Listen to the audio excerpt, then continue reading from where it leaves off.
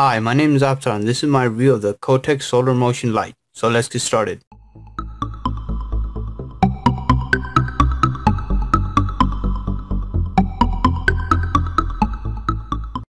Okay, before I tell you what comes inside the box, I want to tell you why I wanted to do this review. I definitely find alternative energy fascinating because I find it cool that devices can create their own power without having any other external power provided for them. I really find it fascinating that the sun can give you power. Plants do it with photosynthesis, so why can't our devices? I definitely want to see more devices with solar panels and different forms of alternative energy. So that's why I wanted to do this review. What you inside the box is a Solar Motion Light, a user's manual. I did use this user's manual because it gave me some information about how the device works and how it operates. You also get two extension pillar hinges and two screws.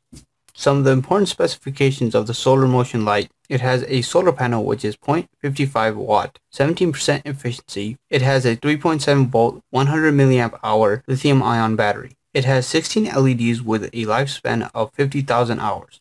It outputs 100 lumens worth of light. It has a built-in sensor to detect if it's night or day. The battery takes 8 hours to charge. Okay, let me go over the design. On top of the motion light, we have the solar panel. Beneath it, we have the 16 LEDs which are protected by a plastic cover. The plastic cover also spreads light evenly. Towards the front of the device we have the motion detector. This device also has a nice design because it is made of steel and the plastic is being covered by the steel, so when it rains it does not touch the plastic. Once you screw this device into a structure, it is very sturdy. This device has two modes, a dim mode and bright light mode. The dim mode will automatically come on once it's night. Bright light mode will activate if you get within 2 meters of the device or 6 feet. Well, depending on how high you place the device, in my case, I have to get within 3 feet to get the bright light mode to activate. Bright light mode will switch off and go back to dim mode within 30 seconds unless it sees more motion.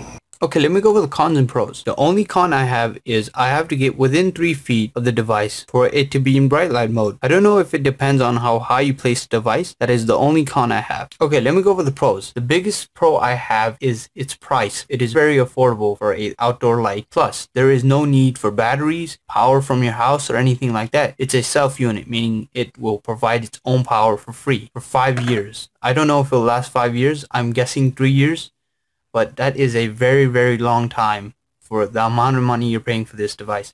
Uh, I've used this for 10 days. Not one day it hasn't worked. It definitely works. It works in the rain. It's rained and nothing. The rain does not affect this device. I think it has a weatherproof coating on top of it so it doesn't affect the solar panel. It also does provide a good amount of light and it is also easy to mount. It is also easy to use. All you have to do is use the provided pin and hit the on button. You should hear a click. I definitely recommend this device. I give it a 5 out of 5. Thank you for watching. If you would like to buy this device, links in the description below will help me out. Thank you for watching. Please like, subscribe, share. And I'm also on Twitter. Please follow me at ApsarKing1. Thanks again.